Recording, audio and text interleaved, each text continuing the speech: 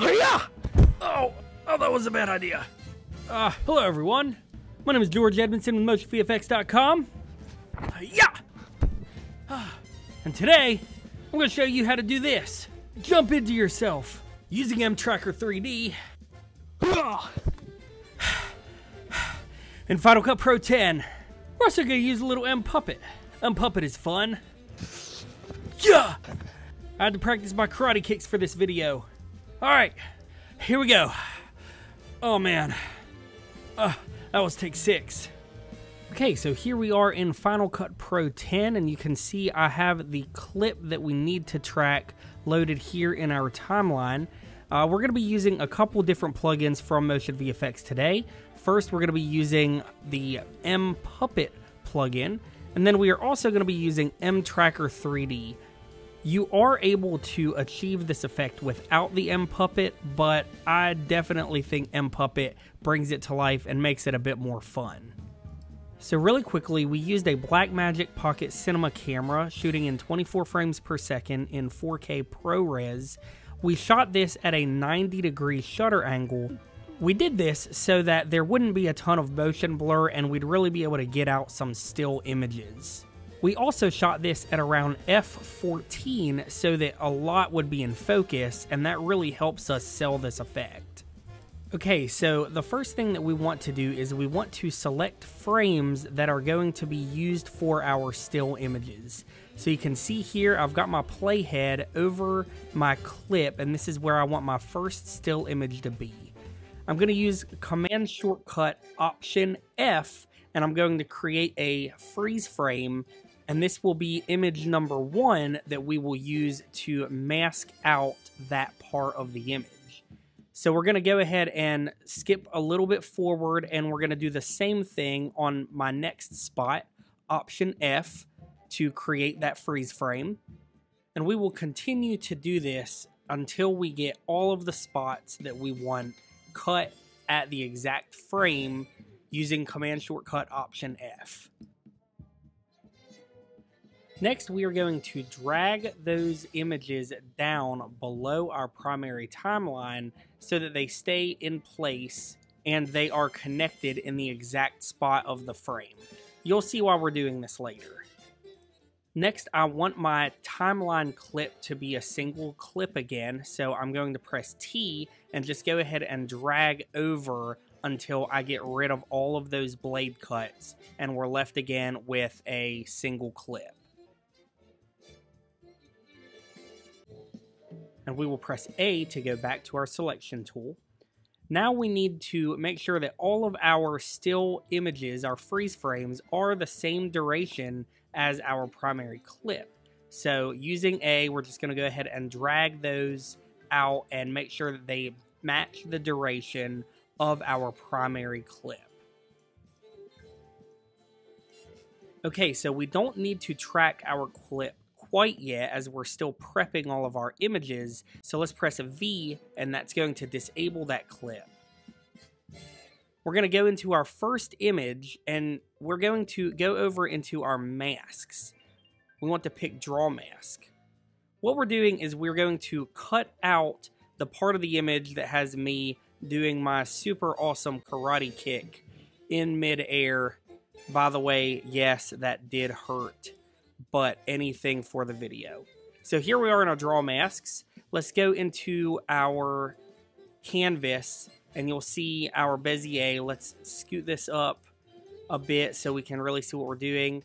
And we are just going to start selecting all around and we're going to begin cutting out the image so that we have just uh, essentially a PNG, something with a transparent background that we can use in mPuppet. I am going to speed through this as well as all of the other images, and we will see you in just a second.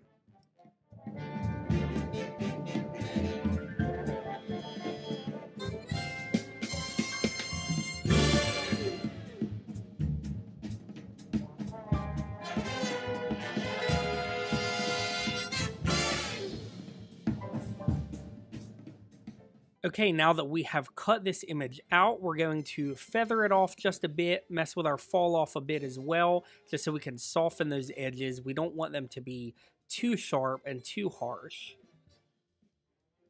Press shortcut V again to re-enable your primary clip. And let's go ahead and drag that image up above so that we can see now that we have that transparent background image cut out and we're going to be able to match perfectly with our playhead on that frame. And for speed and the purposes of this video, I have went ahead and made those cuts with our draw mask to all of the other frames as we spoke about.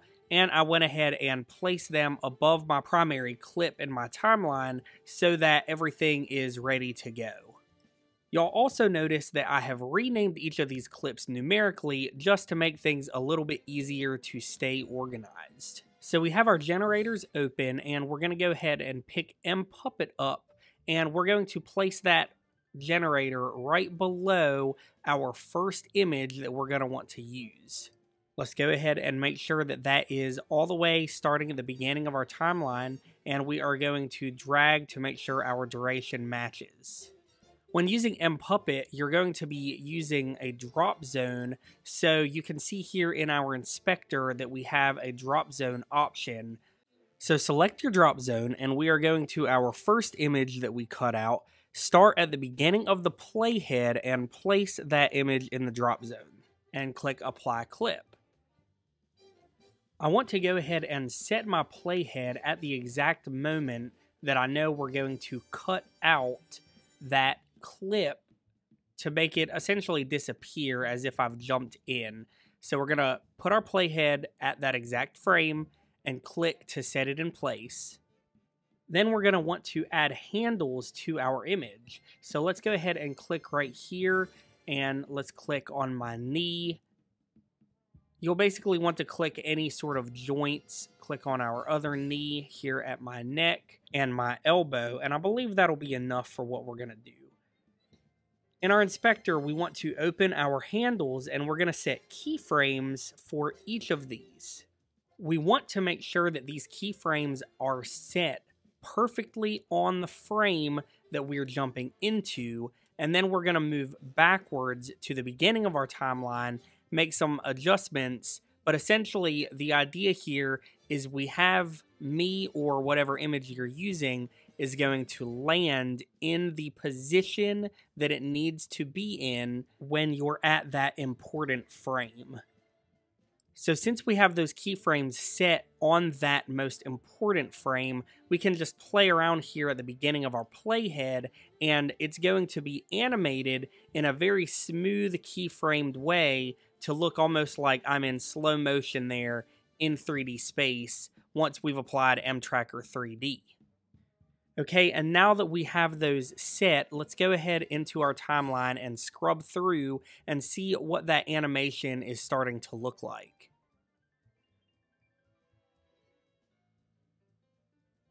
The workflow is exactly the same for each image, so we're going to go ahead and cut and we will be right back once I've made all of those changes. Okay, so you can now see that I have made those adjustments and added very subtle slow motion animation to each of those frames, and this is what it looks like when you place it over your primary timeline.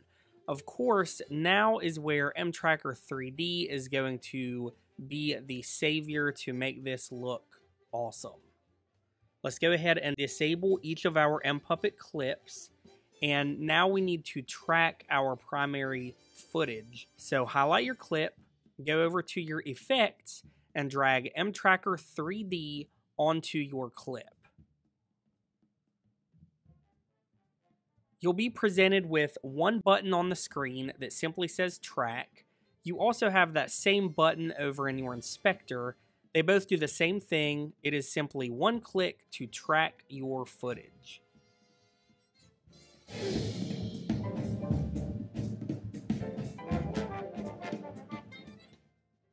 Okay, and now that we are done tracking, you can see on the screen that we have a notification, copy tracking data, paste it to the mTracker 3D elements placed above this clip. So before we copy our tracking data, why don't we go ahead and select the element that we are going to be using, which will be our drop zone basic located over in your titles in mTracker 3D. So let's place that title right above our primary clip and we're going of course to drag that out to match the duration of our tracked clip. So remember, we need to paste our tracked data into this title. So let's go ahead and highlight our clip. And you'll see here we have copy track over in the inspector. Click that button to copy that tracked information. Now that we have copied our track, go and highlight your title and simply go to paste track in the inspector. To let you know that your paste is complete, you will get a notification saying done, tracking data saved successfully. Go ahead and click OK.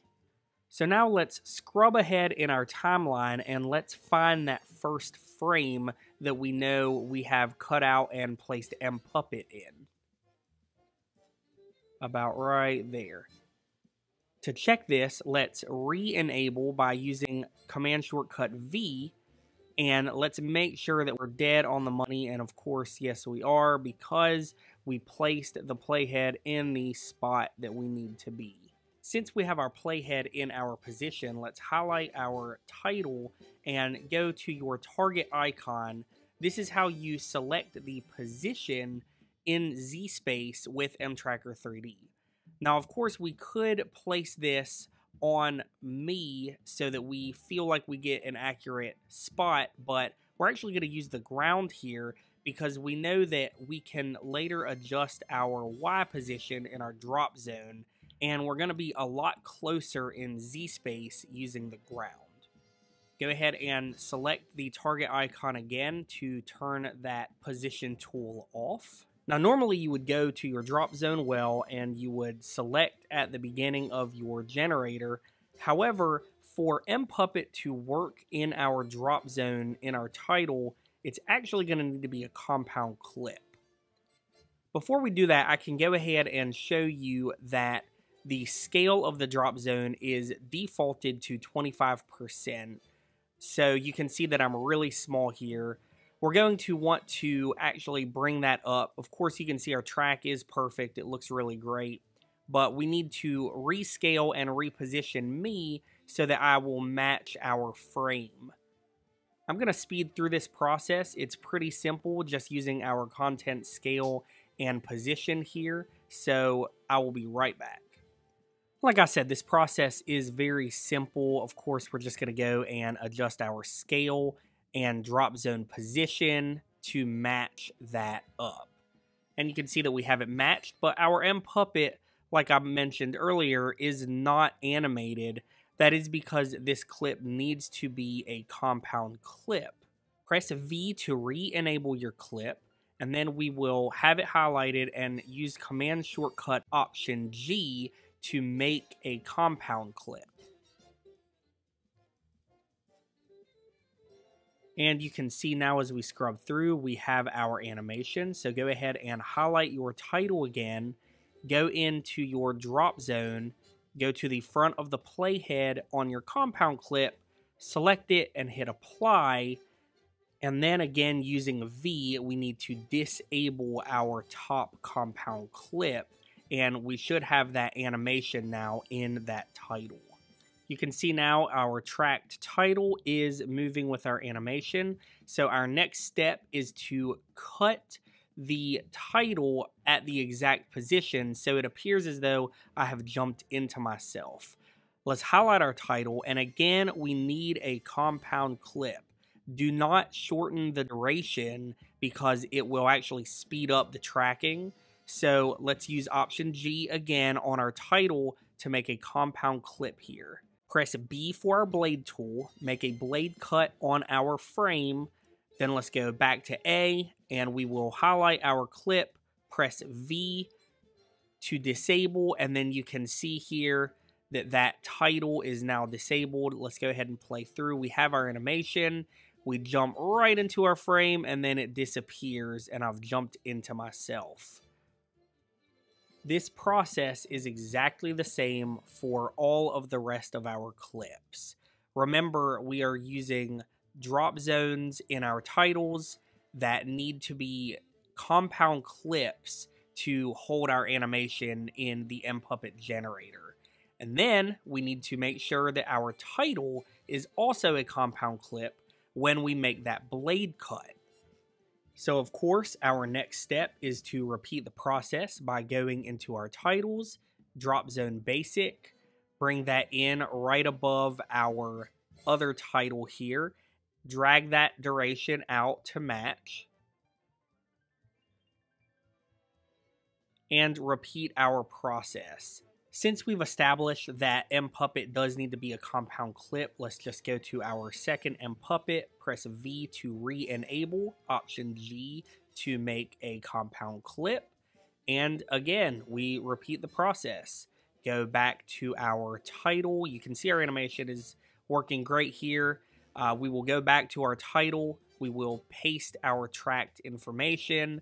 We will set our point on the ground and then we will apply our drop zone, change our content scale and position to match our next frame, and so on and so forth.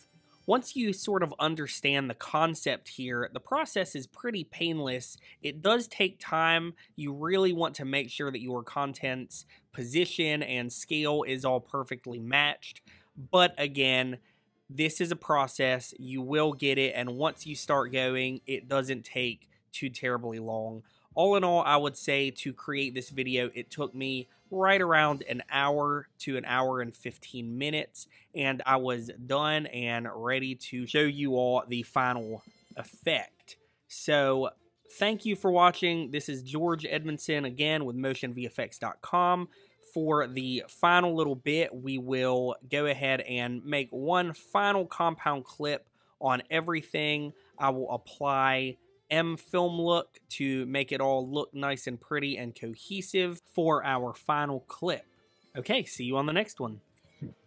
Yeah! Oh, oh, that was a bad idea. Uh, hello everyone. My name is George Edmondson with MotionVFX.com. Yeah! And today, I'm going to show you how to do this. Jump into yourself using mTracker 3D. In Final Cut Pro 10, we're also going to use a little mPuppet. mPuppet is fun. Yeah! I had to practice my karate kicks for this video. Alright, here we go. Oh man. Uh, that was take six.